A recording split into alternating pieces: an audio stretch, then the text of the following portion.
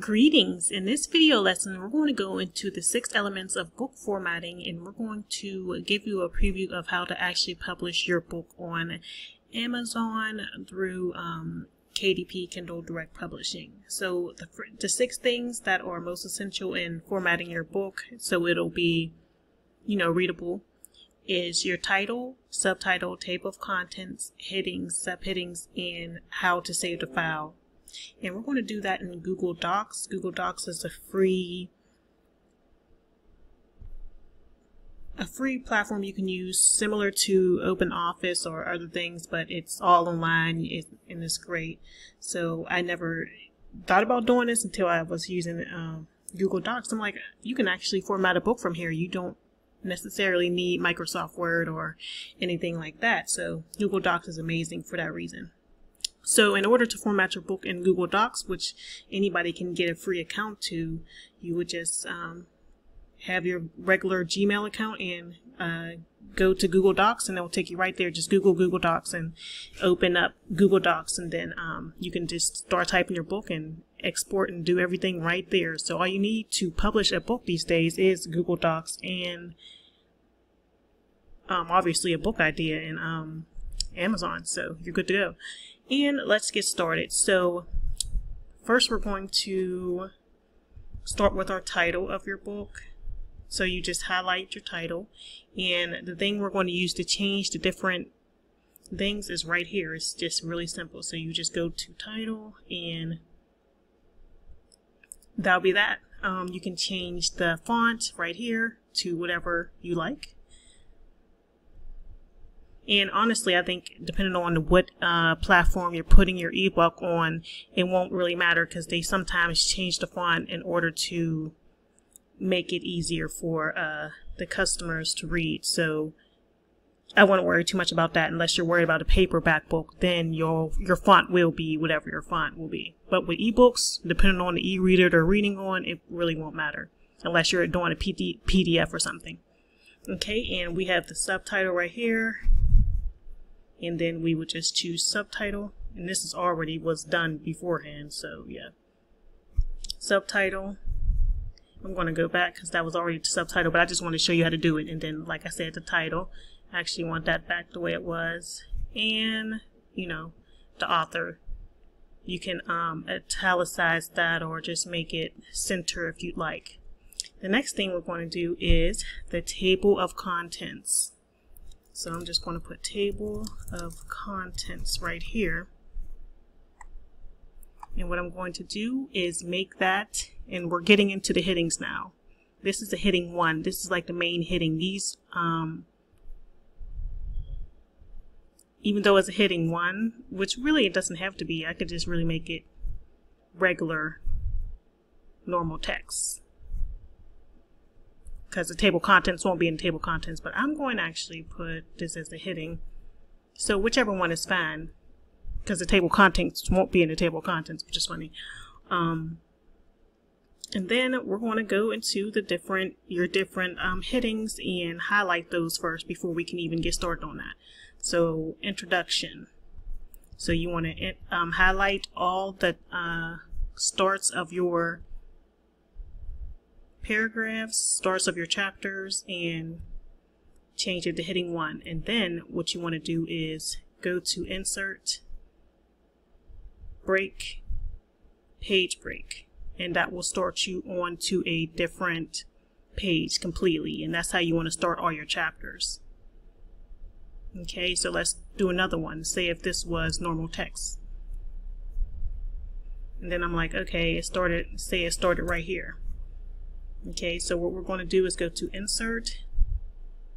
We're going to go to Break, Page Break, and then we're going to make this a heading 1. Now, if you have headings under a heading, so say if you have a chapter 1 and then you have sub-chapters, you would go here and mark that as heading 2. Now, the way you do your spacing, that's up to you. Amazon will get on you if you do too much spacing in between your uh, chapters. Keep that in mind.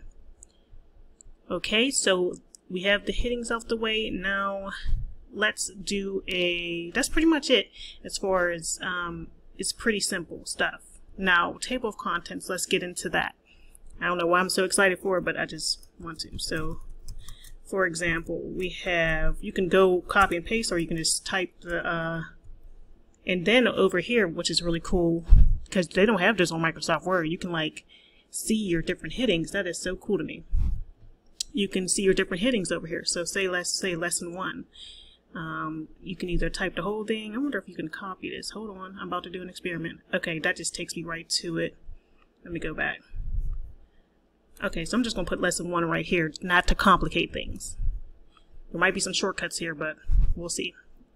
And then what we're going to do after we select that, we're going to make it a clickable table of contents by putting a link to our headings and then all your headings will be right under here.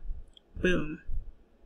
And there you go. You can um, make a two-tiered heading but I don't know why you want to. They just really want to know the main chapter but if you have like a really nonfiction in-depth book I can see why you want to do that but that's a little bit much and I probably would put the whole thing out type the whole thing out let me see edit link I wish I could copy and paste this without going to the actual thing, but maybe I'll have to do that like this. There might be another shortcut, but I don't know it, so. Because I do want the whole thing typed out. There we go. Alright, and then you would do the same thing for lesson number two.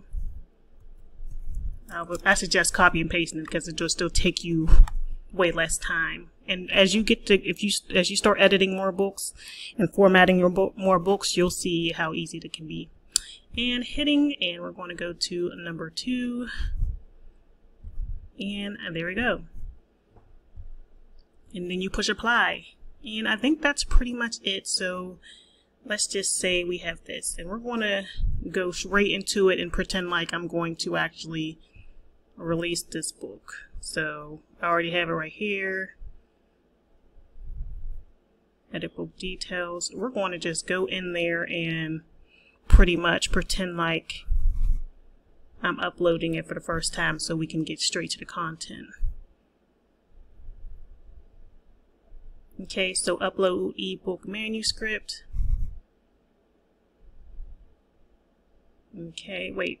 Oh yeah, haha, we gotta remember to save it. Okay, so when I'm file, save as or do we do download? Okay so you can you have all these options right here. That is so crazy. You can um, save it pretty much as anything you want. EPUB plain text PDF like Google Docs is the stuff. It has really I, I never thought to do this. So I will save it as the Microsoft Word Docs because I want to see what it's like with that clickable table of contents um, okay but then I will have to save it to my computer. So let's do that. Okay, so actually it already did save. So as soon as you push download, it saves down at the bottom. I just noticed that. So you don't have to do anything more, but just go to download and then it will save down here. And then you'll find it in your computer. So let's go back to KDP.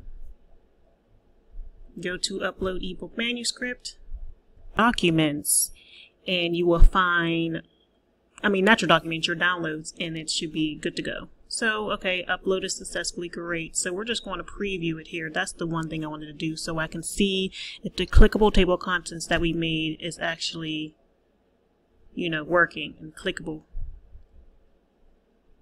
using Google Docs. And it says it takes a lot of minutes, so waiting for it to prepare.